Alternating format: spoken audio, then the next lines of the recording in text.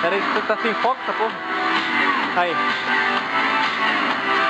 Cara, quebrou antes da truck ali, ó.